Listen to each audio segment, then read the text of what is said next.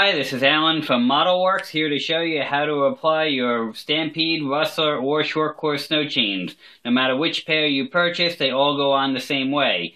Once you get your package, simply take the chains out and separate the two pairs and get them untangled. You'll want to get the red links free.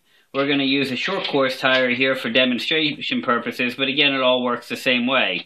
Simply slide the chain, lay the chains over the tire, and once you do, you'll immediately begin to see the ladder pattern, which is the part that goes over the treads.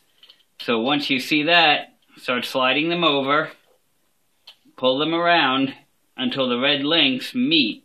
It doesn't matter if the red links are on the inside portion or the outside portion, as in this case, unless you don't want to see the red and then put them on the inside. As you see here, we simply pull the red links together. Depending on your tire, some of them will be a little tighter, take a little bit more effort to do, and if you're having a real hard time, you might need to smooth the chains around a little to get the red links to get together. You do want them to be tight, you don't want too much sag, uh, or they will come off when you're using it. Once you get them on, just simply smooth them around. Make sure the chains aren't crooked and sideways like this on the tire. You want them straight.